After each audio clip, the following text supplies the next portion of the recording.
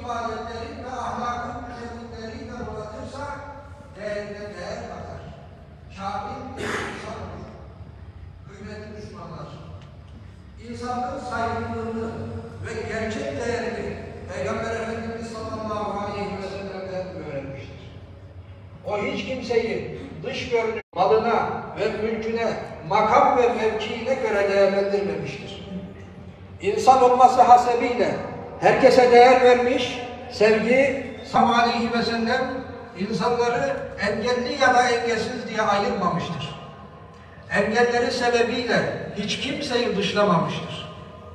Farklı engel gruplarında yer alan sahabilere yakın ilgi göstermiş, her daim destek olmuştur.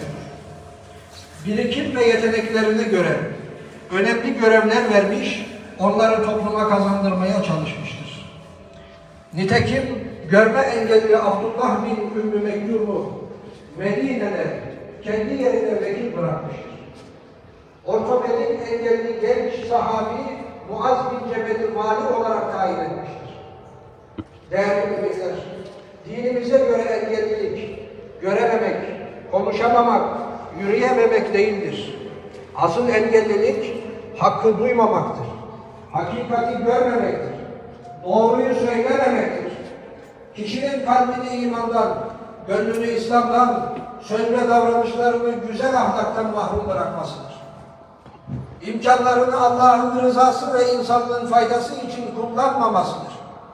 Samimiyetini, riyanın kendi eliyle değerini getirmesidir. Kur'an-ı Kerim gerçek engellileri bizlere şöyle tanıtmaktadır. Bismillahirrahmanirrahim. Lehum kulubun la yefkahune biha ve lehum âzânun la yesma'ûne biha. Onların kalpleri vardır ama hakkı anlamazlar. Gözleri vardır ama gerçeği göremezler. Kulakları vardır ama hakikati işitmezler. Aziz Müslümanlar, inanç, azim ve gayret hiçbir engel tanımaz. Önemli olan birbirimize engel çıkarmamak, hayatı birbirimize zorlaştırmamaktır. Engelli kardeşlerimizin ve ailelerinin hayat mücadelesinde yanlarında olmaktır. Onları ziyaret ederek hal ve hatırlarını sormak, dualarını almaktır. Kendilerine içten ve samimi davranmaktır. Onlara karşı komşuluk ve insani görevlerimizi yerine getirmektir. Çalışmalarını ve üretmelerini zorlaştıran bütün engelleri ortadan kaldırmaktır. Yollarımızı, sokaklarımızı, binalarımızı ve hayatının her alanını onların kullanabileceği şekilde planlamaktır. Peygamber Efendimiz sallallahu aleyhi ve sellemin şu hadisi şerifini kendimize şiar edinmektir. Yessiru ve la tuassiru ve beşşiru ve la tuneffiru. Kolaylaştırın, zorlaştırmayın, müjdeleyin, nefret ettirmeyin.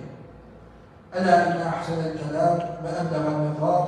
Kelamullahi العزيز العلام كما قال الله تبارك وتعالى في الكلام وإذا قرئ القرآن فاستمعوا له وأنصتوا لعلكم ترحمون.